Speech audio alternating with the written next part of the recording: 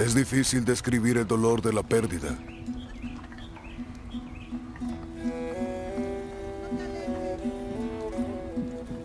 Es una llama que quema mi alma.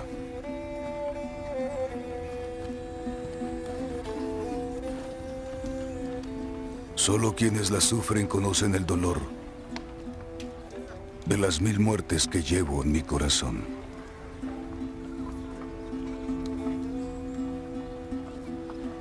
Eso nos describe perfectamente, ¿verdad? Quien lo dijo tiene razón. Así es, querida mía. Lo siento. Mis condolencias.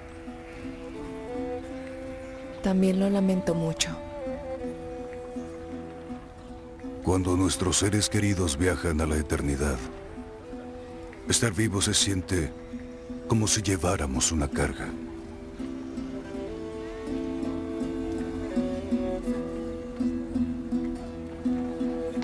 ¿Usted perdió a quienes amaba también?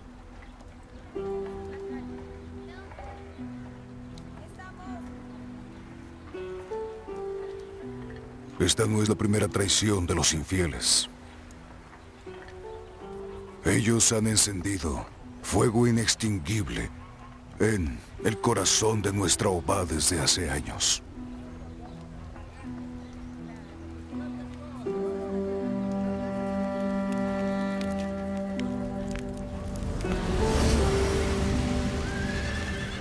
Cuando volví a la Oba aquel día, Hace 15 años, cerca de Vaspuracán,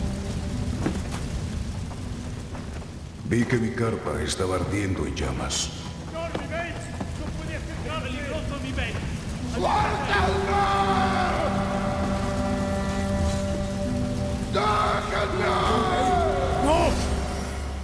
Estuve a punto de volverme loco.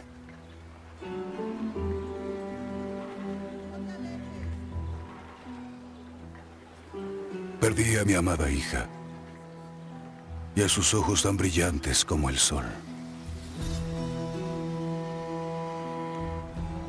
También a su madre de belleza sin igual.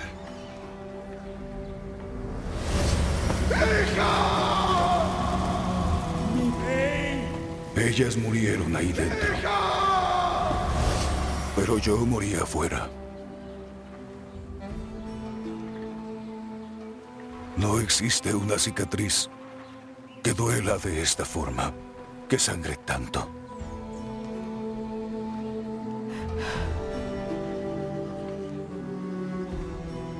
Me imagino lo que duele.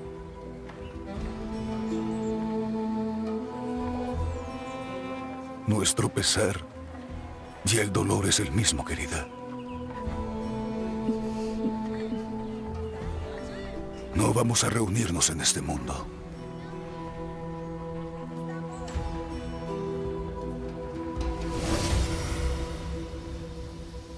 Los soldados que envió Kekatme nos llegarán aquí muy pronto. Está lo suficientemente sediento de sangre como para sacrificar a sus propios hombres. Cuando se trata de venganza, se ciega por completo. Como cuando asesinó a mi madre y me separó de mi padre.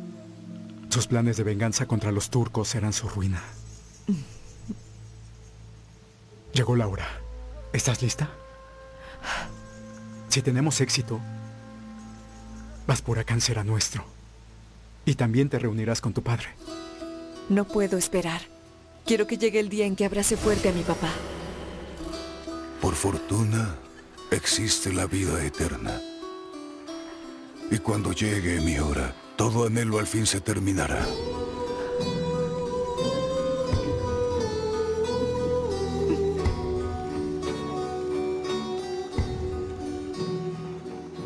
Solo te he traído más dolor y no era mi intención.